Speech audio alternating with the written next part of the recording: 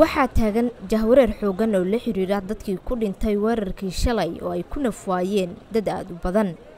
Jahwareerkan ayaa waxa uu saameyn u geystay qoysas ay eheladoodu waxyeelo ka soo gaartay qaraxaasi.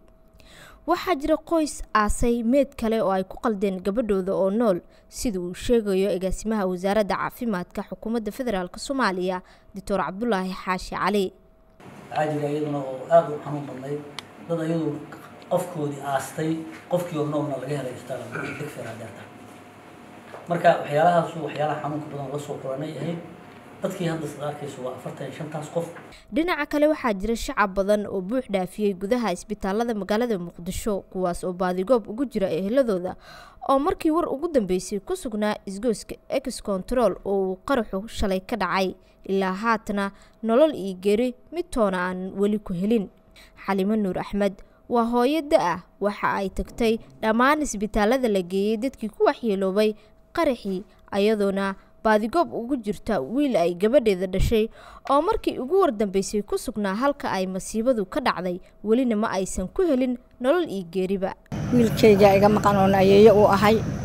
Baabuurta oo waxuu saaraay turgiga qolada jidka dhisayso ka mid ahaay nolol iyo geeri wax aan ku haay malahan shalay subaxnimadii ay igu dambaysay isbitaal walbana waa tegay baabuurkaasoo asaga baabuurkaas aan raaca ayeeyo waana baxay u dhahay. Markii dambe qaraxaa dhacay qaraxaasoo wiilkaaga saaraay baabuurkaasoo saaray qaraxa ku dhaca baabuurka laygu dhahay.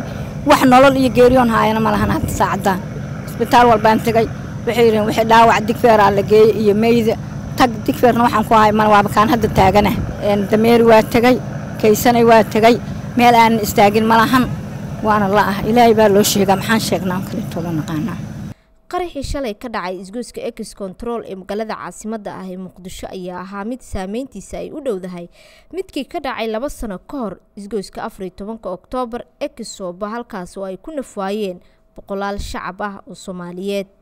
Safiya cismaan cabdulle shabeelle t v